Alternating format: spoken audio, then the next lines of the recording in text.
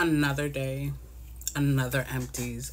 This time, in celebration of getting my hair done, we're doing the hair care empties. So, in June, I finished the pattern leave-in conditioner.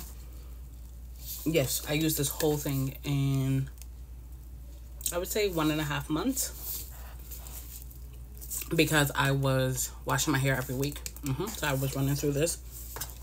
The leave-in conditioner I'm using now, no. No, no, no, no.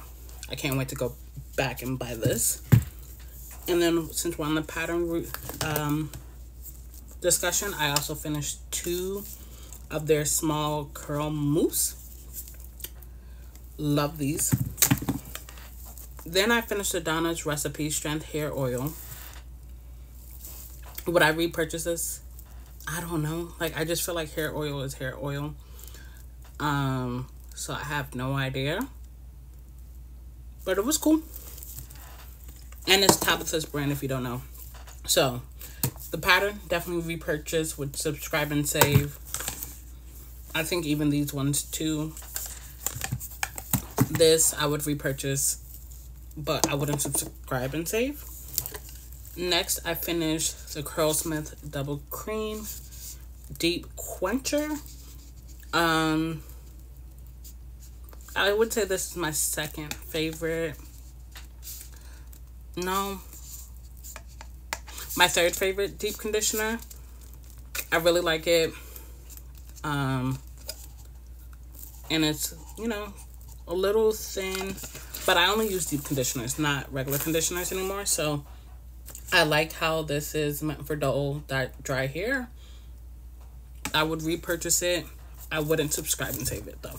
I would definitely just subscribe and save the Briogeo one or the Not Your Mother Apple one. But that one. Next, I'm just to toss this out. This don't even look like I should be using it. Like the fact that it's running but also clumpy it's time to trash it. This was the Shea Moisture Hydrate and Repair Multi-Action Leave-In. I don't even remember when I bought this. So this is why this is going in the empties in the trash. I have to retry it to let you know if I like it. Next, I finished the Curlsmith Curl Defining Styling Souffle. I believe I like this. It's worked quite a bit. Um, and worked with the other products that I'm using. So yeah, I would repurchase this one. It's a level 8 hold, so I prefer more hold than less. So yeah. Any products I won't repurchase? No.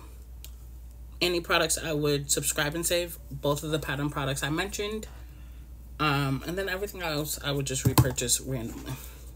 But that's my empties of hair care. Thank you for tuning in. I will see you tomorrow in the next empties, whatever that may be. Bye.